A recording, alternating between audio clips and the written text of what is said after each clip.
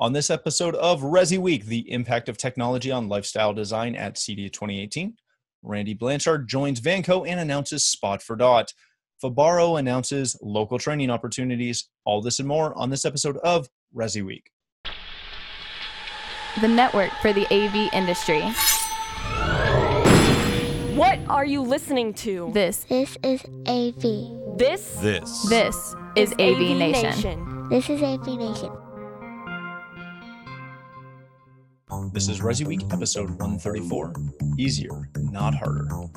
Support for AV Nation is brought to you by Harman International and by SDVOE, the platform for networked AV. Welcome to Resi Week. This is your weekly wrap up of all the latest news and stories for the residential AV industry. I'm your host, Matt D. Scott for AVNation.tv.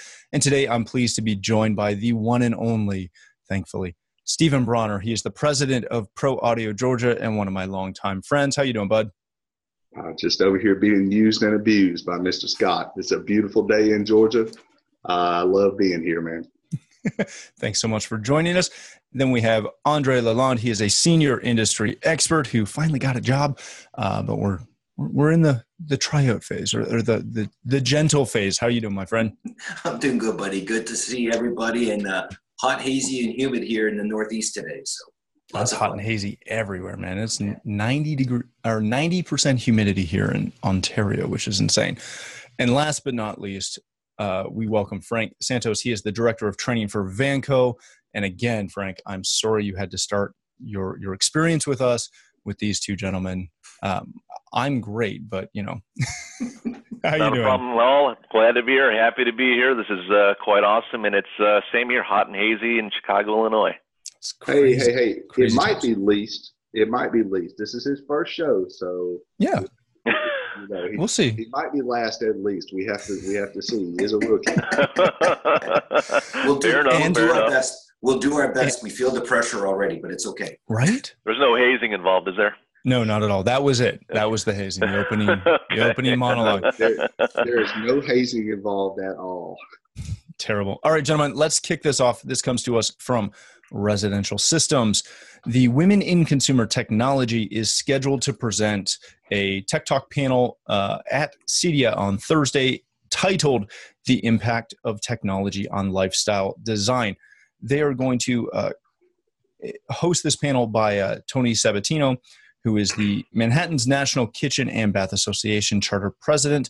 The panelists will include Melissa Andresko from Lutron, Don DeLuca, uh, pr- founder and principal of Don DeLuca on Design, and our good friend Heather Sidorowicz, who is the president and owner of Southtown Audio Video.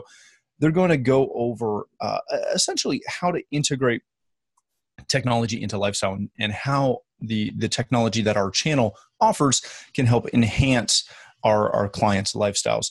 Stephen, I'm going to come straight to you on this one as the integrator and and say, how do dealers create that lifestyle environment in a way in which they can explain it to their end users, to their to their consumers? You got to keep it simple. Uh, the consumer will come to you with a list of ideas, stuff they've read online, stuff they've heard from friends. Uh, I've got a project right now that I'm working on where the guy comes to me and says, My brother in law is a maven at audio video stuff, and he's designed this system for me. And there are things written into the system description like 7.2 Atmos.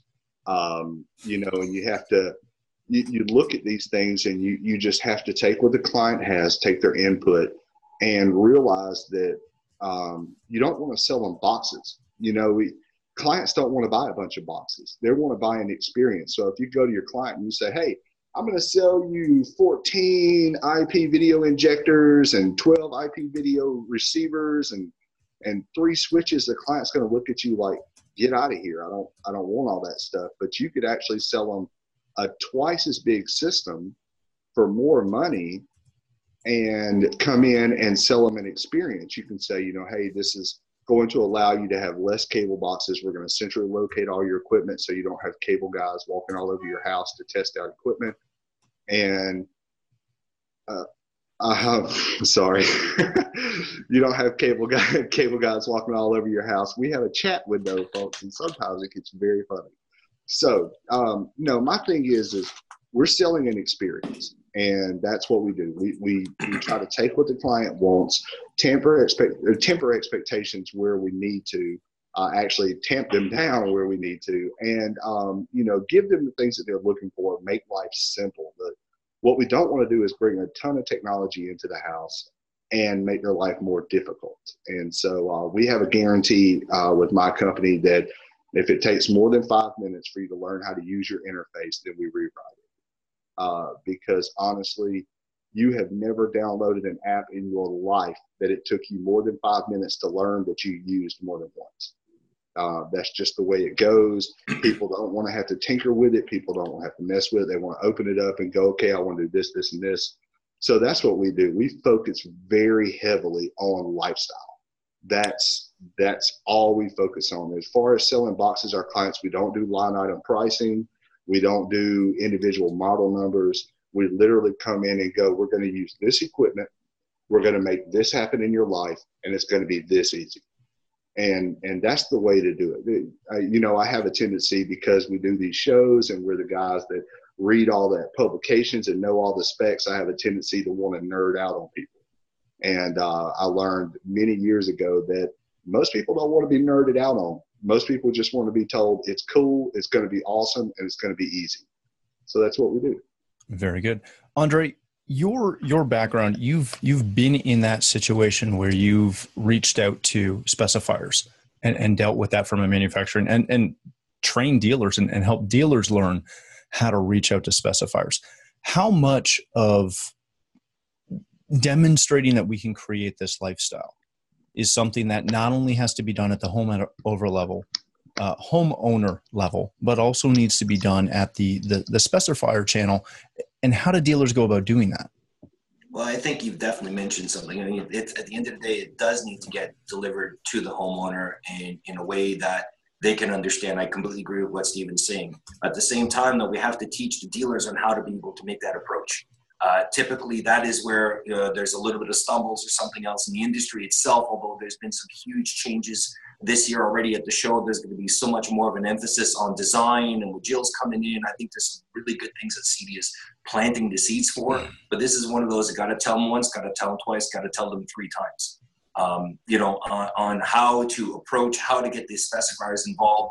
This is why companies such as my former, you know, some of my former companies, you know, with Lutron and that focused on the specifier and specifier marketing and making sure they understand so they come educated as well, right? So I think this is really kind of a relationship that's being built between the specifier community, between the dealer community, the industry, the manufacturers, and basically say, see, look, we can work together, we can be able to express this and really truly deliver what the consumer is looking for, the homeowner is looking for, without using all the techno mumbo jumbo that Stephen was discussing. Absolutely. Very good. Frank, one of the things that I wanted to ask you about when it when it came to this story was this is something where you know we always hear we have to have that conversation but at what point does the conversation not uh, either a start uh, or b need to be augmented and supported by you know training or, or marketing materials and something beyond just oh this is what we can help you do well, it's all about value props, right? What do these products have have to offer, right? As Steven said, you got to make these products easier, not harder on their lifestyle, right? So it's all about value props, uh, finding out what those value props are for these people, and saying, here's the product, here's how to help you out. But furthermore, here's how it'll enhance your lifestyle, right? So what we try to do at Vanco is we try to define our products and find out where it fits in each individual market uh, and then find out how, again, it makes it a lot easier on people. Very good. All right, gentlemen, let's go to our next story of the day. This comes to us, and, and this is going to be a, a, bit of a two for one. Uh, this comes to us from strategy.com. Randy Blanchard, an ex uh, ADI uh, product manager, or I, I, don't remember his exact title, and I'm missing it as I'm searching for it at the moment. Uh, but he, he spent 13 years plus at ADI. He is taking an audio role at Vanco and is their new director of audio products. A couple of the big things that he is planning to work on is, of course, expanding their uh, audio product line as well as uh, building their relationships with their with their managers and, and with all of their suppliers, etc. And the the secondary part of that story is that uh, just released this morning is they're putting an Echo Dot in your wall. And again, this this kind of ties in together between the two, uh, and that comes to us from our own site avnation.com, so you can check that out. Andre, I'm going to start with you on this one, and then we'll come to Frank, uh, who I know will have a lot to say about it, which is why we're not starting with him because he'll take all the time. Andre, when we look at this, this is one of those things. Vanco you know, we, we kind of know in the industry where they started, they've acquired a couple companies, they continue to expand and build some very cool products. What does it mean for Vanco to bring in somebody with the pedigree of Randy to run that audio division? I think, well, first of all, congratulations to Randy walking into a very uh, well run organization. I think I uh, wish him the best, and honestly, he's a great buddy of mine. I think what you're getting is the boots on the ground experience straight hand, right? It's not just somebody who's always been in the manufacturer side of things that assumes and that guesses what people want. He's been living the hand to hand combat, as you mentioned, Matt, for over 13 years. He absolutely knows what to do. He knows how to deliver that message because he's been extremely successful doing it. And he has an absolute passion for audio and audio products. So, I, I mean, well done well done, Vanco, on on securing an amazing individual. I think it's just going to make you guys skyrocket to me. Very good, Frank. When we look at not only the impact that uh, that Randy will obviously have, but when we look at products like Spot for Dot, um, this is such an evolving part of the industry. What does it mean to a have Randy on to help push this, uh, but b to be producing these types of products that give us so many more options uh, and and technical capabilities that we really haven't had in the past. Absolutely. So, so Randy is coming on board as our direct, director of audio products. So he's going to head up uh, Beale Street Audio and Pulse Audio, two of our audio lines. Now, admittedly, we are in terms of AV, we are more video guys. Uh, mm-hmm. In fact, I've been with Vanco for six years, and I'm primarily a video guy. So our audio, we really needed help on, especially acquiring a company called Beale Street Audio with their with their line of speakers. So that was very important to us. Uh, our sales staff, the same way. We're more video guys. So Randy, uh, along with his expertise, his knowledge, and his experience in the audio industry, we're really pumped up internally to have him on board. Uh, so he's going to help us with the direction of those two uh, brands, if you will, as well as bringing new products like the Spot for Dot. And the Spot for Dot is obviously a great product where you can flush mount an Amazon Echo Dot into the wall. It's amplified. A 2 by 25 watt amplifier uh, right into uh, a pair of speakers. So uh, he's going to help us um, figure out what we can do with these new products and uh, bring out even more new products as well. Very good. Stephen, when you look at a product like this, and, and I realize that this was just announced, just came off embargo this morning, but this is something that the the industry's toyed with uh, the last little bit. And, you know, congratulations to Vanco for bringing this out with the expediency that they did. Looking at using uh, the Amazon Dot and, and some of those products to, you know, really provide a true multi-room audio experience. What does this mean for integrators having, you know, something like this that albeit can can kind of start at that entry level price point and grow all the way up throughout the house? Well, um, you know my rule on products, and that is uh, it has to integrate, it has to play. And uh, this does not, this is a standalone product. Uh, I think personally that this is a great product for guys doing maybe a condo or something like that. I think it's a freaking cool idea. Um, you know, the, the, positive side to it is it's kind of an all-in-one package where you get your your dock, your amplifier, all you have to do is add a set of speakers, drop some wire in. It's pretty easy to retrofit um, as long as you can get to electrical, and in most places you can. So it's a, I could see you retrofitting this into any environment with very minimal cuts. Uh, it doesn't require a home run. Um, it's a great product for a single room solution. You've got a kid's bedroom that they want, they want music. Uh, I think that's great. Um, I'd like to see something like this, and, and there is a competitor on the market that has a dot based product. Um, but the, I'd like to see a product like this that um, maybe had, you know, had a thing where you could send the audio back to a head in for music. Uh, that would be pretty cool. uh, you know, something like that would be would be kind of where I would want to go with it. But on the flip side, um, you know, that's the really neat thing about our industry is is every one of our clients is different. Every company is different. Everybody working is working at a different angle. And if you're trying to be like somebody else, that's probably why your business isn't growing. Be yourself. And this product is great for that. Vanco has come out with a product that's a super awesome solution. I could really see this product taking off in MDUs.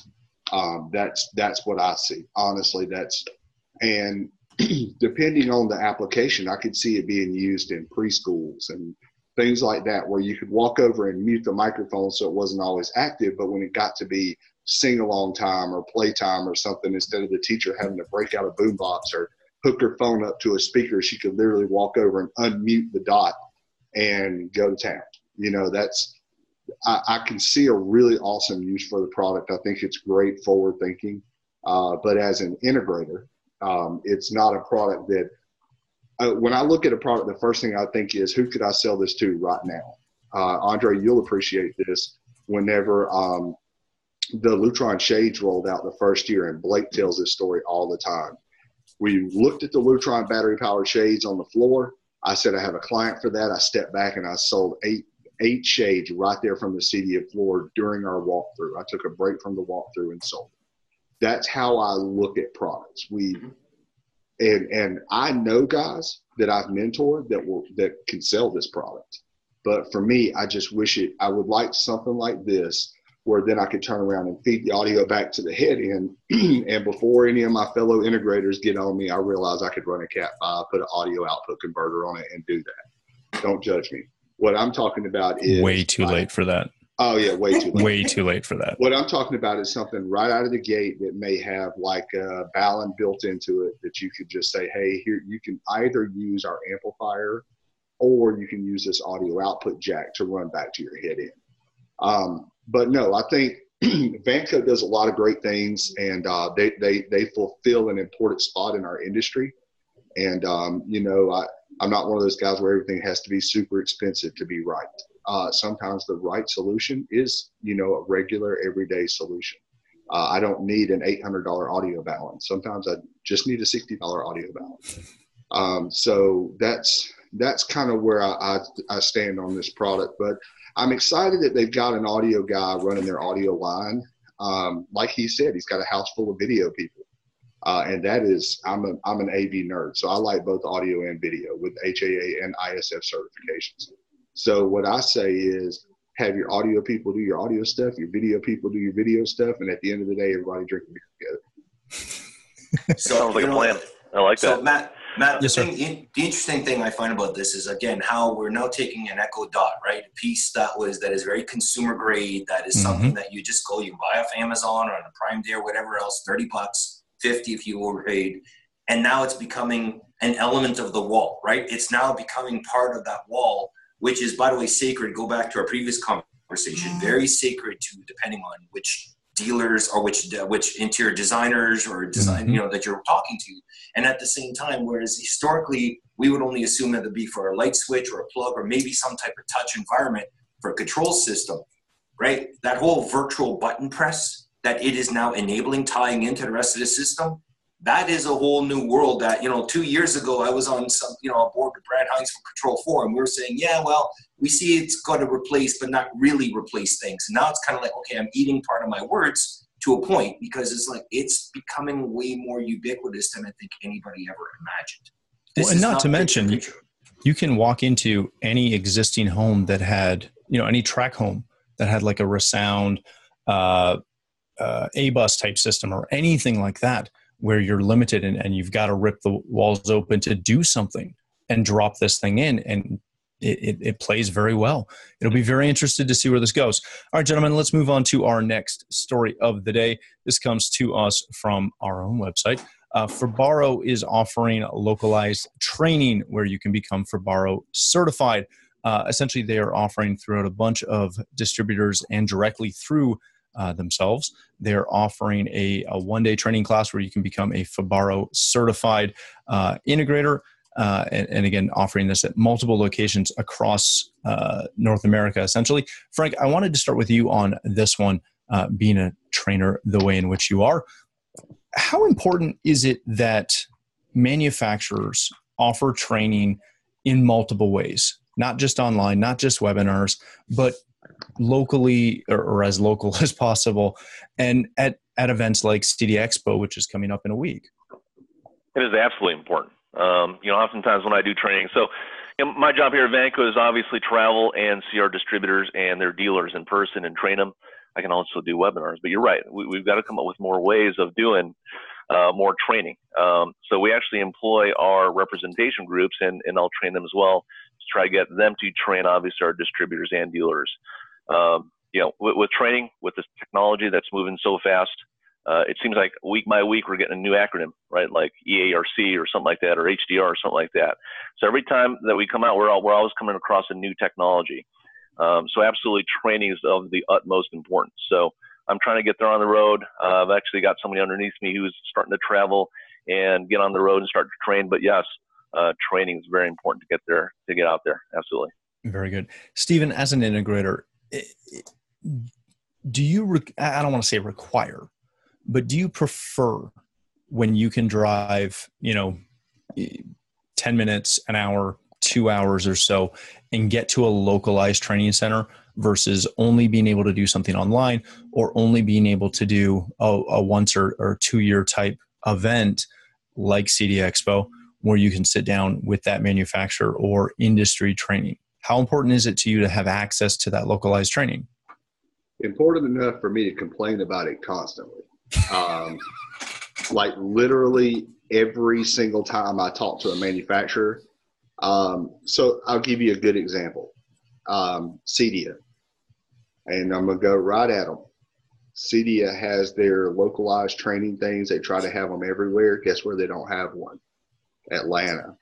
So I want to. It's a small city. Yeah, Hartsfield's world's busiest airport. Every single manufacturer has a hub here. Everything comes through Hartsfield. Um, the industry is ignoring the southeast because I don't know they're stupid. So the the reason why I bring that up is we have um, in in less than six months, and, and this was um, this goes off of an article I read a year ago that said in a year, and it may have already surpassed. Don't get me wrong. Uh, there are more. There will be more movies produced in Georgia than there are in Hollywood. So, uh, and that's mostly right here in the Atlanta area. So I know it's a whole state compared to a city, but think about that. Um, local training is critical. If you don't have, and I do the same thing with products I carry. If if a company is not present at CEDIA, I do not sell their products. If I cannot get training on a product, I do not sell it because I ask the weird questions. I ask the questions that tech support can't answer because I have an extensive electrical background, electronics education when I ask a question about how something works, it may be a board level question. It may not be a what plug goes here. I know what plug goes where. I want to know what happens if I turn this setting up or turn that setting up, and I can only get those questions answered in local training. Uh, in defense, in in, in the, oppose that.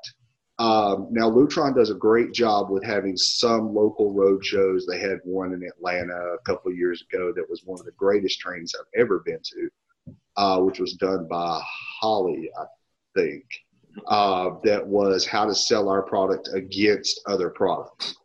That was an amazing training, and I went to it. I was there the whole day. It was freaking awesome. So, uh, yeah, local trainings are critical to integrators. That's important. We don't all have money to drop to travel to wherever. Uh, in October and November, I'm going to Just Add Power to get my level one and level two training. That's down in Florida. I can drive there. Uh, but you know, if all you're offering is trainings in New York and California and Texas and Oregon and Washington, guess what? You're missing the boat, folks. There's a lot of money in the Southeast. The weather doesn't suck, and the people don't either. So we need we need more local trainings, and it's critical to expanding your brand. Andre, when when you hear what uh, Stephen's talking about, and, and you hear what Frank's talking about about trying to get on the road even more. Mm-hmm. But we also realize how large North America is, not to mention the global community as well. I've got two questions for you. How can or, or how much can we ask of integrators in in frequency of training? i.e., everybody carries a, a suite of products. They can't go train with somebody every other week. Um, or, or maybe they can. I don't know. That's why I'm asking you. The other question I have is how hard is it for a, a national brand, even, to get out to every area? Because there's a, again, just in North America alone, there's a lot of places where you can't get somewhere within two hours.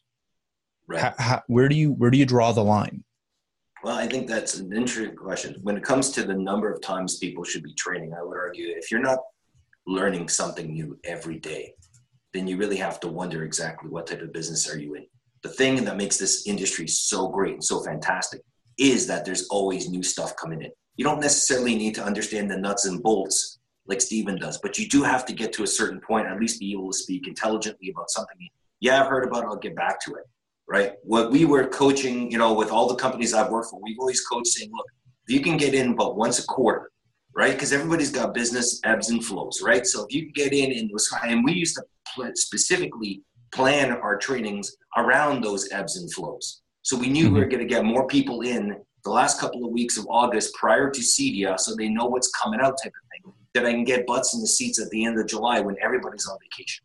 Likewise, nobody's going to go to training around Christmas time because you guys are all busy answering last minute calls, right? Because the homeowners want their stuff to be working for mm-hmm. Christmas Day. Exactly right. And some things like the light's not working, kind of important. Maybe. Depends on depends on your religion, but the light's gotta definitely be working. so argument is at least once a quarter should be doing some type of learning. That doesn't necessarily involve in-person training. You could start with in person and then do some online and maybe do some some some learning on your own or attend a webinar or something like that right? One of the previous companies i worked for with urc we would have a weekly webinar every friday right? Yes we would do some in person and everything else but the idea is there's a touch base and by the way we publish the calendar. So if you don't want to attend the training you don't have to. If that's of interest then put it on your calendar get the appointment get the evite type of thing and then you're set to rock and roll right? So that's extremely important. When it comes to doing national deployments you're right the challenge there and frank's already mentioned it it's lack of resources right? It's getting the ROI in that deployment. So you'll typically will see a national, like a, not necessarily regional, but a national deployment roughly once or twice a year, depending on product launches, depending when things are going, for there to be some level of ROI. We can't just be looking at these as cost centers. They have to look at them as profit centers. That is the ability of creating revenue, getting the dealers involved. Now, I'm not necessarily against, though, the listen, we're going to pay for your ticket, Stephen. We're going to pay for you to come to New York for three days right? And you can come and learn this stuff. But that's got to be better time with Steven's ebbs and flow of his own business, which are different because he's in the southeast. Let's not even start there. Than they are in the northeast and Canada and everything else. Very good. Yeah. Right. To uh, to Andre's yeah. point, really quick. Yeah, I mean, training is a two-way street. I mean, I, have got to be willing to come out there, and obviously, there are way more integrators than trainers, right? But the the trainee has to be willing to take their time and come out as well. Uh, honestly, when when I do trainings, I learn just as much from them, and as hopefully they do me. Uh, I picked up a lot of tips from integrators as well. So uh, again, uh, Andre, you are certainly correct with that. And something just just add on that, Matt. Another element too is not everything has to be a formalized training as well. Counter days at a particular distributor or at a rep agency or an experience center. Those are all touch points. Those are great ways of saying, you know, a guy, you know, Steven can come in and ask those little itty bitty questions. The person there is the expert. They're the knowledge, and they more than love to have that interaction with those types of trust me, there's nothing more boring than sitting at a disty for four hours and have no question. They want that interaction. Go ahead, ask them yeah. really hard questions. Very right? What is the One meaning thing I hate of life? Is me talking the entire time. yeah, exactly. Excellent. All right, gentlemen, let's leave it there. Thanks so much for joining us, uh, Frank. Uh, hope you enjoyed your your first time here. Hopefully, we were we were nice. I can't speak for Stephen, but Andre and I were, were definitely nice. Being you know I Canadian, did. Thank you the very much. it was are. a pleasure if people want to connect with you, learn more about Vanco and the, the, the entire umbrella of brands that you guys have there, where can they do that? Absolutely. So they can visit our website at www.vanco1.com. Otherwise, my email address is frank s at vanco1.com. And finally, on Twitter at vanco1av. Very good. Thanks again for being here. Andre, my good friend, thanks for joining us. If people want to connect with you, where can they do that? Easiest way is on LinkedIn. Just look for Andre Lalonde, and there's not too many giants like myself. So go ahead and find me and go ahead, ping me away. Will do. Steven, my good buddy, uh, thanks again for joining us and dropping some insight. Uh, where can people connect with you? Uh, you can get me at pro audio underscore GA on Twitter. Uh, look at that hashtag country boy smiling. Um, you can uh, you can see me at CEDIA this year. I'll be all over the place. Uh, you can vote for me too. How about that? Ooh, um, fancy. And uh, um, you got my vote. Fine. ProAudioGeorgia.com, ProAudioGA. Just look for me. I'm pretty easy. Reach out to me if you have any questions. Anybody, integrators, uh, manufacturers. I look forward to hearing from everyone. Excellent. All right. Thanks again for joining us. For myself, if you'd like to connect with me, you can find me at Matt D. Scott on Twitter and every other social platform. But more importantly, please stop by avnation.tv where you'll find this show as well as a wide variety of our other shows with all the verticals that we cover. When you visit the website, please take a moment to check out our underwriters. We are extremely thankful for their support and ask that you support them as well. Thanks again for watching. That's all the time we have for this episode of Resi Week.